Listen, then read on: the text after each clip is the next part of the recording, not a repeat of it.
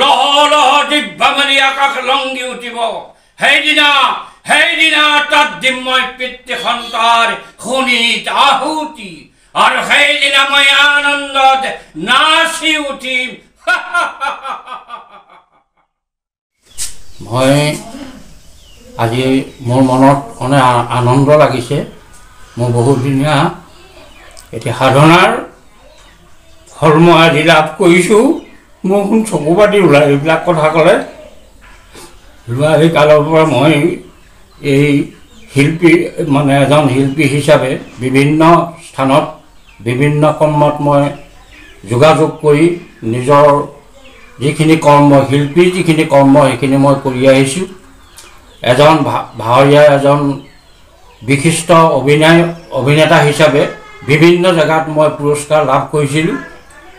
আৰু বিহুৰ ক্ষেত্ৰত মই আমগুৰিত অনুষ্ঠিত হোৱা বিহু সন্মিলনত একেৰাহে চাৰিবাৰ নাচনীৰ বেষ্টমেণ্টত পাইছিলোঁ আৰু কৰ্মসূত্ৰে মই জাগিৰোডত থাকোঁতে ডিমৰীয়া কলেজত সোণাপুৰ ডিমৰীয়া কলেজত অসম ভিত্তিত মঘাই ওজা এখন চিল কম্পিটিশ্যন হৈছিল। তাত মই শ্ৰেষ্ঠ ঢুলীয়া সন্মান লাভ কৰিছিলোঁ।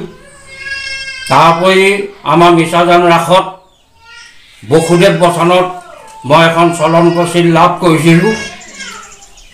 বৰপ্ৰচাৰত অভিনয় হোৱা ধৰ্মজয় অধৰ্ম পৰাজয়ত মই স্ত্ৰী চৰিত্ৰৰ অভিনয় কৰি বৃন্দাবন বৃন্দাবচনত মই এটি ৰূপৰ পদক পাইছিলোঁ। ভাদৈ পাঁচালীত ভাওনাত আমাৰ ইয়াৰ এজন মানুহে তালৈ নি আমাক ভাওনা প্ৰদৰ্শন কৰাইছিল।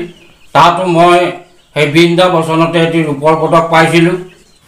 অসম চৰকাৰে এই স্বীকৃতি হিচাপে মোক যে এই বয়সত এইখিনি দিলে গতিকে মই অসম চৰকাৰক অশেষ ধন্যবাদ আৰু তেখেতলোকৰ ভৱিষ্যত মংগল কামনা কৰি মোৰ দুআষাৰ ইমানতে মই সামৰণি।